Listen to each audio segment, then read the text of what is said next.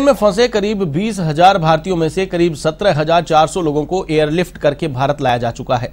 Ukraine के पड़ोसी देशों से भारतीयों को लाने के लिए मिशन ऑपरेशन गंगा नाम दिया गया है। इसमें से हंगरी और पोलैंड से एयरलिफ्ट का काम पूरा हो गया है। इंडियन एयरफोर्स ने भी ऑपरेशन गंगा में हिस्सा लिया है। एयरफोर्स के C seventeen globe globe star की 10 उड़ानों से दो हज़ार छप्पन यात्रियों को वापस लाया गया है। इधर यूक्रेन से पढ़ाई अधूरी छोड़े छोड़कर जाने वाले छात्रों को हंगरी की यूनिवर्सिटीज ने राहत की पेशकश की है।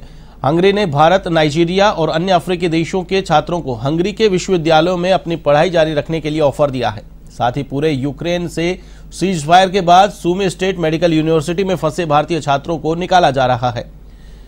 उनके लिए बसों का प्रबंध किया गया है।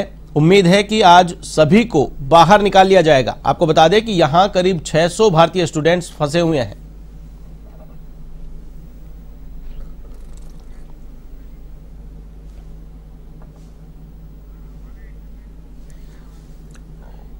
इस खबर पर अधिक अपडेट के लिए मेरे साथ फोनलाइन पर मौजूद हमारे संवाददाता लोकेश ओला। लोकेश, लगातार मिशन गंगा के तहत वतन वापसी करवाई जा रही है, लेकिन बड़ी चिंता की बात ये, जो छात्र मेडिकल की पढ़ाई कर रहे थे, उनकी पढ़ाई का आगे क्या होगा, क्या विकल्प हो सकता है? हालाँकि हंगरी ने ऑफ़र दिया है कि उनकी पढ़ाई वहाँ पर वो कंटिन्यू कर सकते हैं।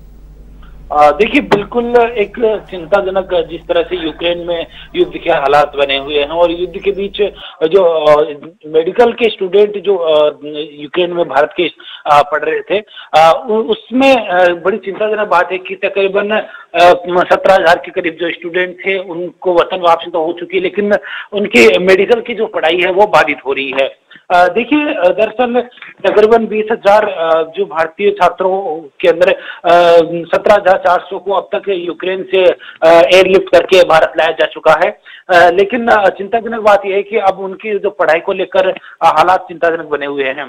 देखिए, ऑपरेशन आकाश गंगा के तहत जो हंगरी और पोलैंड से एयरलिफ्ट करके सभी भारतीयों को लाने का काम लगातार सरकार की ओर से किया जा रहा है। साथ साथ यूक्रेन से पढ़ाई अधूरी छोड़कर आने वाले छात्रों के लिए हंगरी की यूनिवर्सिटीज ने राहत पेश की है। दरअसल भारत और नाइजीरिया से जो अन्य अफ्रीकी देशों के जो छात्रों को लेकर हम, जो हंगरी के विश्वविद्यालयों ने एक जो राहत यहाँ स्टूडेंट्स को दी है, जिसमें वहाँ पर पढ़ाई करने की जो पेशकश है वो की गई है। देखिए जिस तरह से यूक्रेन में सीज फायर के बाद जो जो सुमी स्टेट मेडिकल यूनिवर्सिटी के जो छात्र फंसे हुए थे, उनको निकाला जा रहा है, लेकिन जो तकरीबन भारतीय जो छात्र थे उनको पढ़ाई के लिए अब एक बार फिर से हंगरी की जो यूनिवर्सिटीज है, उनकी ओर से पेशकश की गई है कि वो राहत दे हालाँकि देखिए कई जो भारतीय जो राजनेताओं की ओर से भी लगातार सरकार से पहल की जा रही है कि उनको जो देश की मेडिकल यूनिवर्सिटीज में राहत दी जाए। लेकिन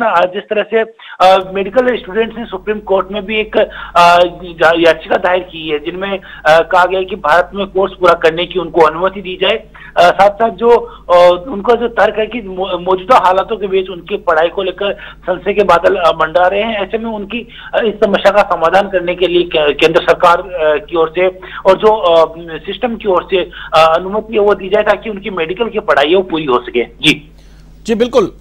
तमाम जानकारी के लिए बहुत बहुत शुक्रिया। तो ये थे हमारे संवाददाता लोकेश ओला, जिन्होंने बताया कि हालाँकि हंगरी की ओर से, यूनिवर्सिटी की ओर से ऑफ़र दिया गया है, लेकिन बड़ी चुनौती की बात ये, वतन वापसी छात्रों की हो चुकी है, लेकिन अब आगे उनकी